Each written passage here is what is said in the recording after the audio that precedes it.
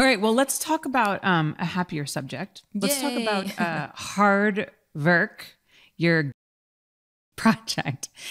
They're always just a, a happy-go-lucky topic. It's my favorite. People love talking about.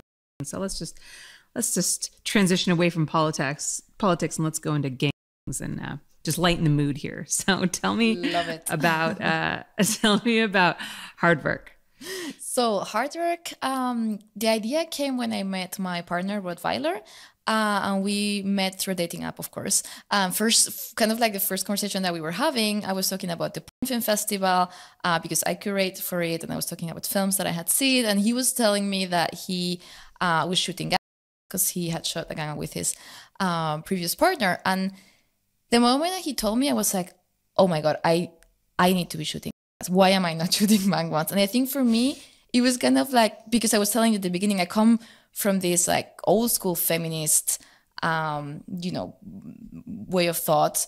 And it took me a little. It was a long process for me to like deconstruct all of the my own barriers that I had when starting to do, uh, uh, and reclaiming like my own kinky, you know, sexuality and making you know understanding for myself that everything is good and there, there's no sexual act that I should not be doing because it's not feminist or whatever. And suddenly, like I hear I'm hearing like, and I think like gang, it's kind of like considered the ultimate like symbol of like a woman being exploited by all of these men, right? And I obviously love gangbangs, and I've been having gangbangs fantasies since as far as I can remember. um, and of course, always feeling conflicted a little bit about those fantasies. Uh, and then suddenly, I was like, no, this is this is the right time. I want to be doing, you know, the most like celebratory or gestic, uh, fun gang uh, that I can imagine, and I want to make them like tailored to the fantasies of the person in the middle, just to show like how much power and how much joy this person that is in the center of a gang uh, can have and enjoy, right? And I want to like yeah, just celebrate that. I love that. You know, I've shot three games in my life, and even though like logistically they can be kind of difficult because all those bodies moving together, like getting the penetration stuff can be tough. But they have been some of the funnest shoots I've done. And I think it's because they were uh, produced by the woman in the scene. So it was her idea. She hired the people in it. She dictated what happened, um, you know, and she hired me. So it was definitely uh, a scene that was curated and created by by the woman.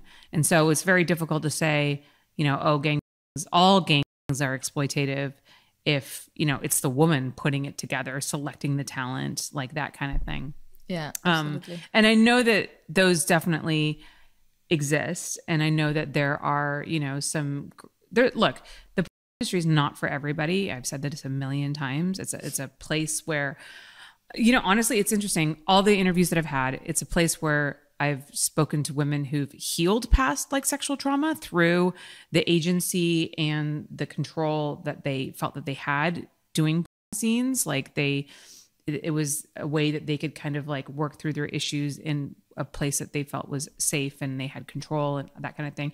And then it's exacerbated traumas, sexual traumas of other people, you know? So it's just kind of one of those things that it's like, it can be great for some people and it can not work for other people. It's just, it's, it's, it's a thing and it's not like bad or good. It's just, anyways. Um, so, so I definitely know that there is, I know that there are women who have done gang who who did it because they needed the money or they thought it was going to get them some award and they didn't really want to do it and they regretted it afterwards. And that's super that's super regrettable. Um but there's like a lot of women that who love it.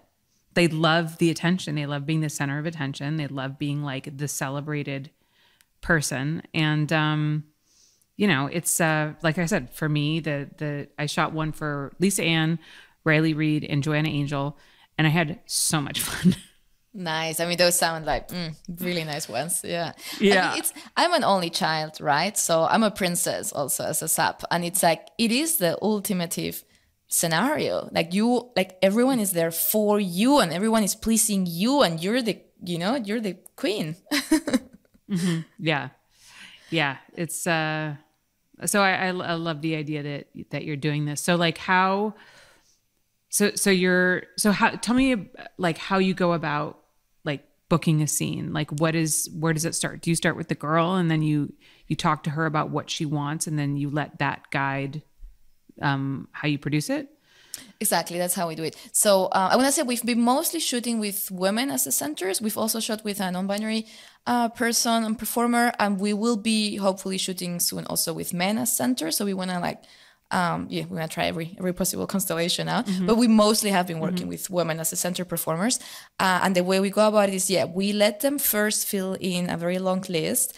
Um, it's kind of the list that you would uh, usually also fill in for like other BDSM parties or whatever. So basically, just goes mm-hmm. from kissing to, you know, whatever verbal humiliation, quadruple, you you tell you name it, uh, and you write down what's your experience with it, and how much would you like or not like to do it. So you can you know in, the, in this long list you can already give like what's uh, what's your limits which a no no uh, and what is something that you'd love to try out and we also leave some space for them to write if there are any concrete either locations or folks or scenarios or ideas that they would like to to do so with that rod and i sit down and look at it and and, and, and start brainstorming and think we have different formats so we feel like okay if it's someone for example that has not so much experience shooting um, then we'd rather go for a smaller bang, right? So we have the, the smallest that we've shot so far is just three bangers, so it's not so overwhelming um, in terms of how many mm-hmm. hands and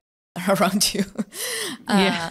And if it's someone that is like, you know, I've already shot like whatever, a million guys, but I want to do now this, I don't know, vampire dream, then we're like, okay, let's let's get them all you know let's mm-hmm. focus on that thing um, and then we have a conversation with with them and propose like our ideas and just basically go back and forth until we found uh, the right concept, the right idea, the kind of location. Um, and, and, then we propose also, I mean, we ask them if they have any cast wishes. So for their co-performers, or otherwise we propose them a cast. And again, it's a bit of back and forth until we until we pin everything down. But they always have the last word. So we would never, mm-hmm. you know, push anything. We basically want to find something where the performer is like, "Fuck yes, I'm really looking forward to shooting this." You know. That's our yeah. aim. Hey guys, if you want to support my show, then you should think about joining my Patreon. At my Patreon, I offer all kinds of amazing perks in exchange for your financial support.